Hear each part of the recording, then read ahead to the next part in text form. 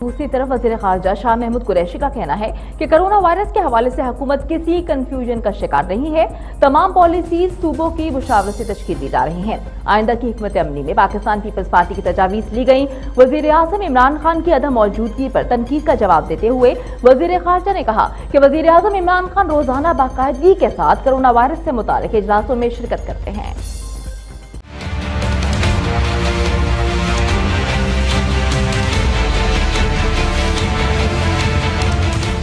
जनाबे वाला एक तासुर दिया जा रहा है कि ये जो वबा जिससे हम दो चार हैं, इसका हल जो है, वो लॉकडाउन है।